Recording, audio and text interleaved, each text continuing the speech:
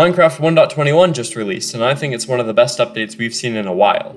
I've noticed that the Minecraft community as a whole seems to be a lot happier with how the update turned out. This poll I made seems to think so. But as much as I am excited about the new content in this update, I'm also very excited for the things this update brings for the future. See, there are two things the Tricky Trials update adds that I think could be revolutionary for the coming updates for Minecraft. The vault and the ominous bottle could really help structures, especially the older ones that desperately need an update. Today, I'm going to talk about how these new items can bring improvements to the game, and give some examples I've thought of of how they could work. But first, if you enjoy this video, leave a like and subscribe. I'm trying to reach 10,000 subscribers by the end of the year, and you guys could help me reach this incredible milestone. But with the formalities out of the way, let's talk about the Vault and Bad Omen. So let's start by establishing what these two items are. In the Trial Chamber, you're going to find three new blocks relating to the new Vault mechanic. Trial Spawners, the Vault, and the Ominous Vault. When you approach Trial Spawners, they will spawn mobs, and defeating them will give you an item. One of them can be the Trial Key, which you can use to open vaults. The vault can be opened once by each player and offers some decent loot that gets even better in the Ominous Vault, which has different, harder keys to get. The other item, the Ominous Bottle, has some relations with the Vault. It's a replacement for pillagers for getting the Bad Omen effect. When you drink the bottle near Trial Spawners, it turns them into Ominous Spawners, which will drop Ominous Keys, which will open Ominous Vaults. Very ominous. The effect still starts raids, you just now have to drink the bottle while in a village. Both the Ominous Spawner and the raid are part of a new mechanic called Ominous Events. These two mechanics may seem simple, but they could have a big impact on structures in the future. I don't know about you guys, but I really want a structure update, and I think these items are the key to updating structures quickly without having to completely rework them. The Vault can help by adding new ways to get keys and new exclusive loot, and the Ominous Bottle can add new ominous events that make surviving the structures harder. I've thought of some examples of how these items could be used that I think are pretty cool. For the Vault, one of the most obvious uses is the Elytra. I've seen a lot of people recommend this. One major problem on multiplayer servers is the rarity of the Elytra. If you join a new server, it can be hard to find an Elytra because you would have to travel very far out into the end to find an unrated end ship. The Vault would mostly solve this problem.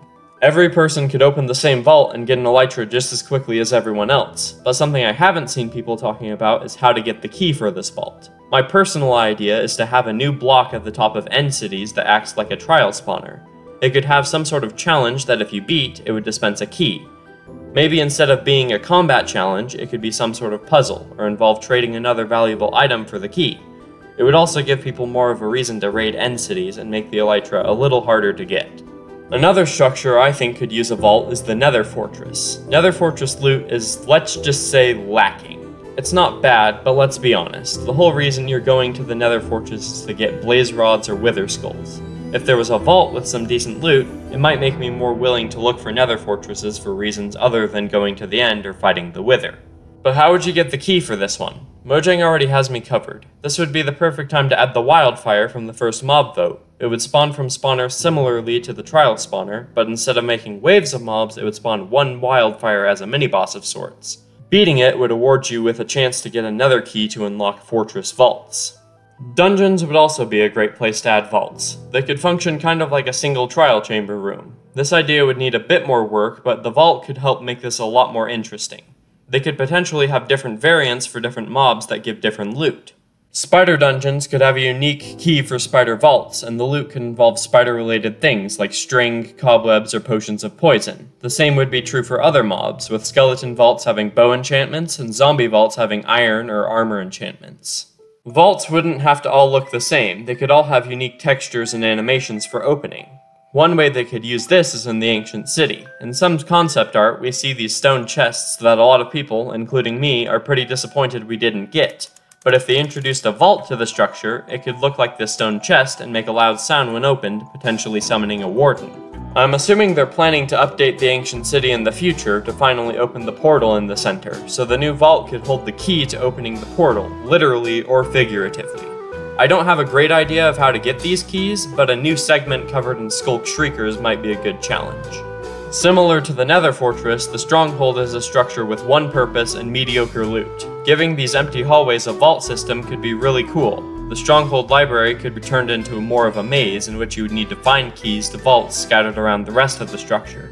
And as a final thing, as they update these structures with vaults, they need to add some new loot to give an incentive to go there. Some obvious ideas are new armor trims, banner patterns, and music discs. Some structures already have these, but they could be given new ones, or in the case of music discs, some of the older ones could be assigned to structures. Those are all of my ideas of ways they could use the vault. I should mention that I would be really interested to hear some of your guys' ideas, so if you have any, tell me in the comments. But the vault is, in my opinion, a lot less interesting than what the Bad Omen rework could do. So let's talk about that. With the ability to take existing structures and make them a harder challenge, I think Mojang could do a lot. The first idea I had was for the Desert Temple. When you would drink an ominous bottle inside, it would summon a new mob. I think the Necromancer from Minecraft Dungeons is a perfect fit, and it would be a pretty difficult challenge, especially within a small confined space. It would drop a powerful new item to make the challenge worth it. But, speaking of the Necromancer, a lot of the mobs from other Minecraft spin-offs would work perfectly as ominous events. The Viler Witch from Earth would be a perfect fit for witch huts, drowned Necromancers would fit really well with shipwrecks, the Illusioner would go to outposts or mansions, and the Endersent could be a guard for the End Portal. But, if all the Ominous Bottle did was summon new mobs, it would get boring quickly. So let's move on to some more unique ideas. The Ocean Monument is the most disappointing structure in Minecraft in my opinion. It has two really cool exclusive mobs and an awesome design, but the reward for looting it is a little gold and some sponge. So let's fix that. If you have Bad Omen, all Elder Guardians become more powerful and the mining fatigue effect is transformed into something else. It would have more detrimental effects like blindness to get lost easier in the monument, less movement speed in the water, and water breathing immunity. It could be renamed to Ominous Fatigue. Guardians could be buffed with more health or damage, and the Elder Guardians could be given new attacks. They would drop new powerful items, and killing them would end the event. In the abandoned village, Bad Omen could, instead of summoning a raid, summon a zombie horde, with new, more powerful zombie variants that come out in waves, like the raid. This would be the perfect chance to use the zombie horse, or they could create new zombie mini-bosses. You would gain a new effect after beating it that would give you better drops from undead mobs, kind of like the luck effect.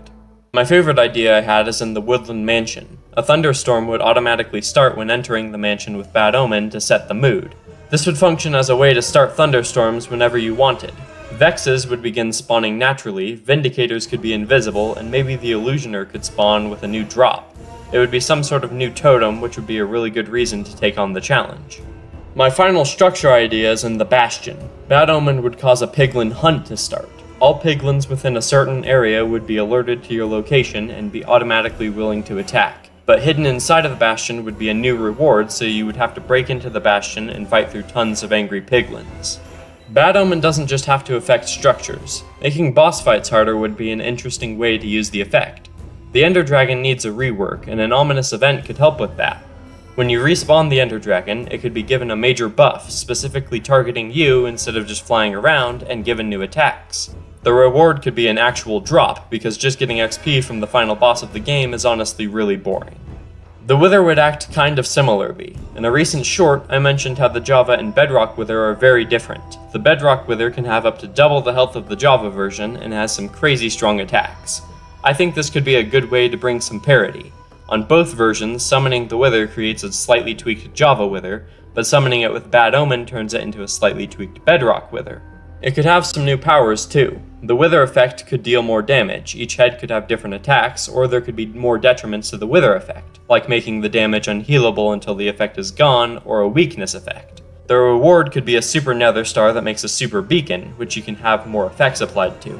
Finally, this would be a great way to add new bosses. You could find a shrine-like structure somewhere in the world, and having Bad Omen and going near it could summon a new boss. That might make it a bit too random for Minecraft, so maybe Bad Omen would just have to be a part of the process of summoning it. Those are all of my Bad Omen ideas, but I have some final notes for both the Vault and Bad Omen. I think that Mojang's plan for the 1.21 update was to introduce a lot of new ways to improve updates, like they mentioned at Minecraft Live last year. I hope they can utilize both of these items to their full potential, and continue to introduce them in structures they add in the future. Let's hope the next few updates are just as good as this one. So, those are all of my ideas on how Bad Omen and the Vault could be used. Let me know what you think of them in the comments. Also let me know what video you would like to see next. I have a bunch of good ones planned, but more ideas are always welcome. But anyways, have a great day, and I'll see you next time.